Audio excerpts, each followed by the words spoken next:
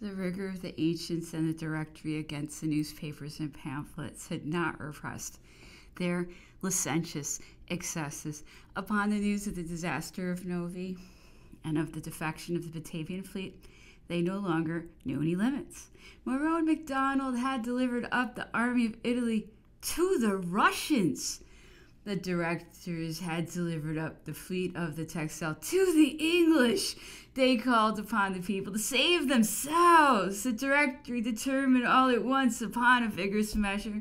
The 17th Fructidor, they caused 11 journalists to be arrested and placed seals upon their prices.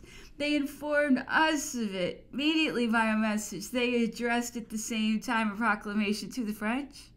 The Directory thought to have the right to act thus after the Article 145 of the Constitution, of which the following is the text.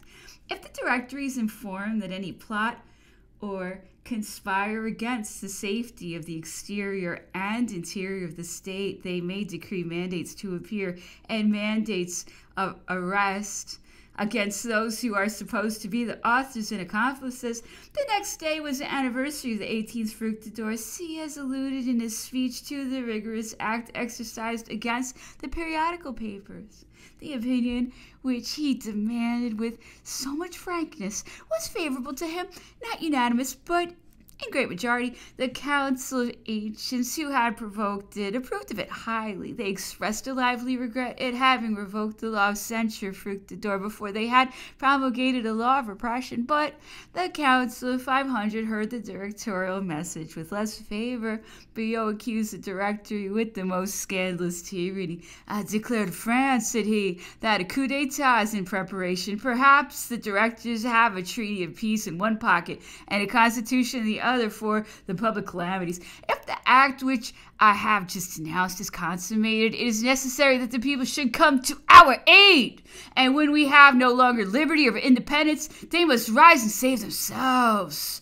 These words were not wanting of echoes in the council, but they remained without any other result than to cause them to put immediately the penal law in deliberation against the abuses of the press.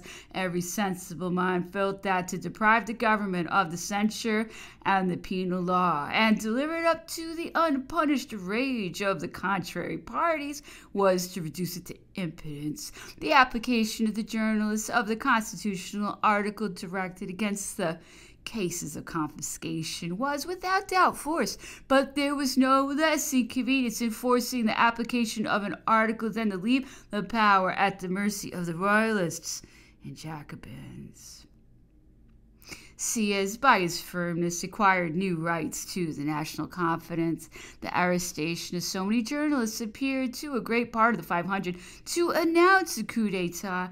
They thought themselves menaced. They united around the directors Gohier and Moulin, Jourdan, Augereau, and Lamarque, convinced that the danger was real, put themselves in defense.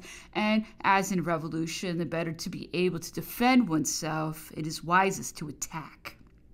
It was soon resolved among the Jacobins to cause the country to be declared in danger and to decree the permanence. I ought not to dissemble here that for several months past, many of the deputies of our party, frightened at the state of affairs, had thoughts of the means of ameliorating them. The Jacobins not only thought, but they endeavored with constancy to bring us back to the conventional measures, looking upon the safety of the Republic precisely in an inverse sense from the Jacobins. We thought with Sieyes that we ought to concentrate more than ever the power of the government as long as foreign invasion menaced us. The ideas of 1793, which appeared salutary to our adversaries appeared mortal and impracticable to us. Each party made its plan. What shall we do if we are attacked?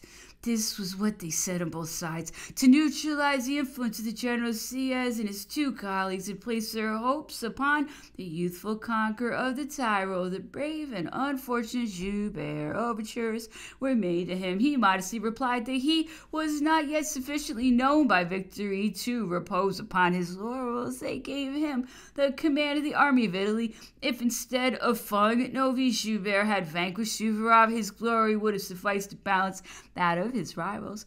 I so little expected the return of Napoleon that I had embraced with ardor the hope that Sieyes had placed in the victories and virtues of Joubert. His early loss appeared to us a public calamity.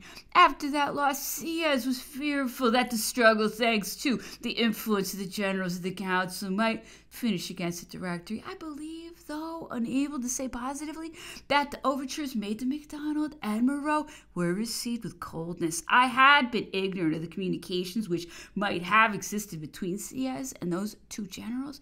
It was the Union of Jourdan that I had preferred, and Sieyes engaged me to make some attempts, I believe that no one would have been more calculated than the citizen hero of Fleurus to cause the project of the Republican form to succeed. Sole aim of our hopes. I spoke to Jourdan on the Sieyes, but it was in vain. It was not in concentrating the directorial power, but in concentrating desire to save the Republic. Sieyes, alarmed by the report of a reunion held at Bernadotte said to me one day with a sigh, We have no longer than a sword for us. Ah, why is your brother not here? He must have thought the danger very pressing to have let that wish escape him. In fact, all the probabilities in case of a violent struggle appeared to be in favor of the Jacobins.